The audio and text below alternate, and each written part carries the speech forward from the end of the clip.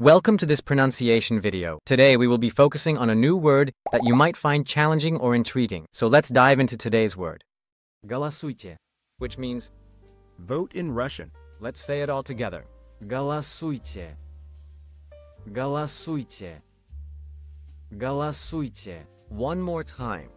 Голосуйте. Голосуйте.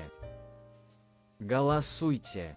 Thank you for joining us on this adventure in pronunciation. Remember, language is a journey, not a destination. Keep exploring, experimenting, and expanding your linguistic horizons. We'll see you next time.